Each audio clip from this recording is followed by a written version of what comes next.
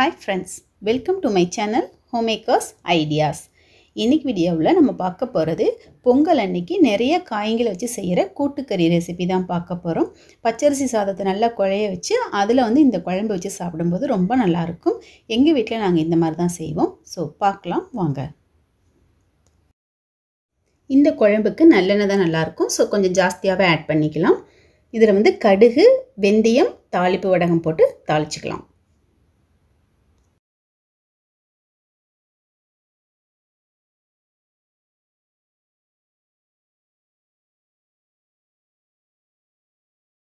இதில் வந்து சாம்பார் ஆனியன் ஒரு கைப்பிடி அளவுக்கும் பூண்டு வந்து ஒரு கைப்பிடி அளவுக்கும் போட்டிருக்கேன். எல்லாத்தையுமே வந்து ஃபைனாக சாப் பண்ணிவிட்டேன் நெக்ஸ்ட்டு கொஞ்சம் கருவேப்பிலையும் காஞ்ச மிளகாவை ரெண்டும் போட்டு நல்லா வதக்கிக்கலாம்.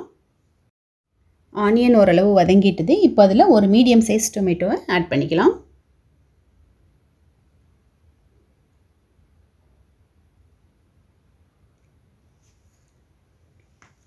பெருங்காயப்பொடி அதிலே ஆட் பண்ணிக்கலாம். இது எண்ணெயில் ஆட் பண்ணும்போது ஃப்ளேவர் நல்லாயிருக்கும் கொஞ்சம் கெட்டியாக இருக்கிற காய்கறிகள்லாம் ஃபஸ்ட்டே நம்ம ஆட் பண்ணிக்கலாம். ஸோ ஃபஸ்ட்டு நான் வந்து பச்சை மொச்சக்கொட்டையை ஆட் பண்ணுறேன் அதை ஒரு நிமிஷம் அப்படியே நல்லா வதக்கி விட்டுட்டு நெக்ஸ்ட்டு முருங்கைக்காவையும் வாழைக்காவையும் ஆட் பண்ணிக்கலாம்.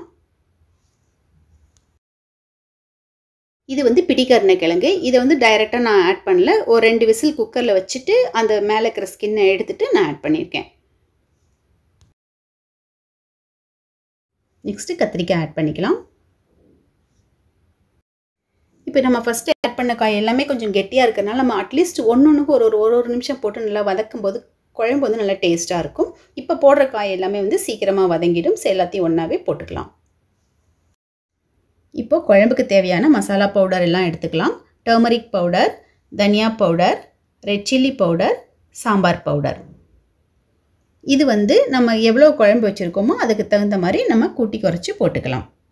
இது எல்லாத்தையுமே காயில் ஆட் பண்ணிவிட்டு நல்லா கலந்து விட்டுக்கலாம். கூடவே கொஞ்சம் தண்ணியும் ஆட் பண்ணிவிட்டு நல்லா கலந்து விட்டுடலாம் இந்த மசாலாவிலேயே காய் வந்து கொஞ்ச நேரம் ஒரு டென் மினிட்ஸ் ஆகுது வேகணும்.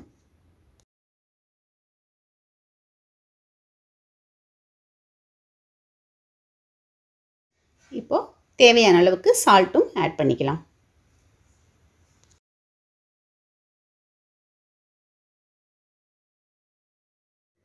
மசாலா நல்லா கொதிச்சுட்டு அந்த பச்சை வாசனை எல்லாம் போயிட்டுது. இப்போ நம்ம வந்து புளி தண்ணியை ஆட் பண்ணிக்கலாம்.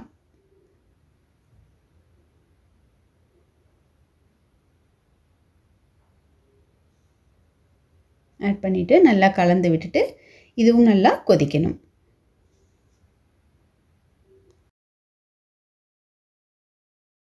ரெண்டு டேபிள் ஸ்பூன் அளவுக்கு தேங்காய் எடுத்திருக்கேன். அதுலேயே ஹாஃப் ஸ்பூன் அளவுக்கு சீரகம் சோம்பு ரெண்டும் எடுத்துக்கலாம். இதை வந்து நல்லா பேஸ்ட்டாக அரைச்சிக்கணும்.